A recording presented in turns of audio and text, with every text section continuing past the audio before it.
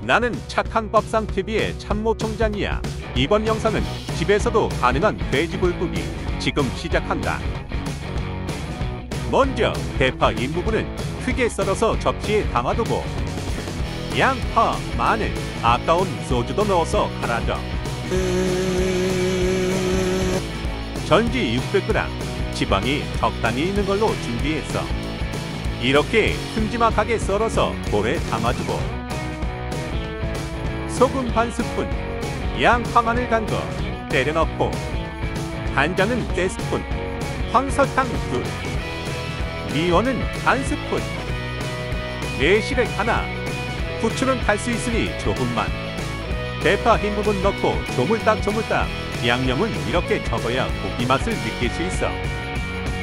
이제 통에 담아 냉장고로 직행해서 5시간 이상 숙성해줘. 숙성한 돼지고기는 양념이 잘 섞이도록 저은 다음에 먹을 만큼만 볼에 다시 담아줘. 식용유를 넣으면 고기가 달라붙지 않고 좋아. 이게 비법이야. 자, 바베큐 그릴에 고기 올리고 이제 한번 구워볼까? 조금만 방심해도 고기가 탈 수 있으니까 자주 뒤집어줘야 돼. 달라붙은 건 이렇게 떼주면서 정성껏 구워줘.